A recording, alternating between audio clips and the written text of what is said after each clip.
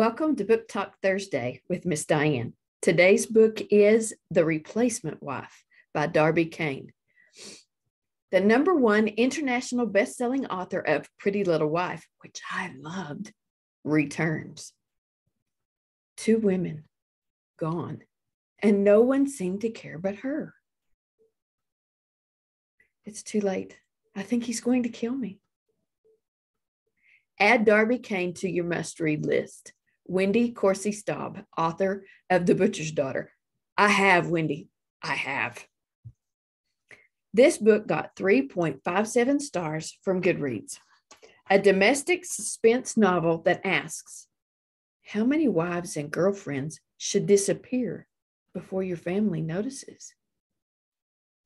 Elisa Wright is a mom and wife living a nice, quiet life in a nice, quiet town. She's also convinced her brother in law is a murderer. Josh has one dead wife and one missing fiance. And though he grieved for them, he starts dating someone new. Elisa fears for that woman's safety, and she desperately wants to know what happened to her friend, Josh's missing fiance. Searching for clues means investigating her own family and she doesn't like what she finds a laptop filled with incriminating information. Other women. But when Elisa becomes friends with Josh's new girlfriend and starts to question things she thinks are true, Elisa wonders if the memories of a horrible incident a year ago have finally pushed her over the edge and Josh is really innocent. With so much at stake, Elisa fights off panic attacks and a strange illness. Is it a breakdown or something new? The race is on to get to the truth before another disappearance, disappearance because there's a killer in the family. Or is there?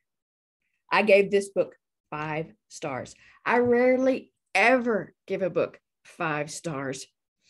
I could not stop reading.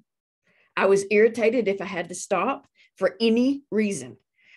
I was always sitting on the very edge of my seat.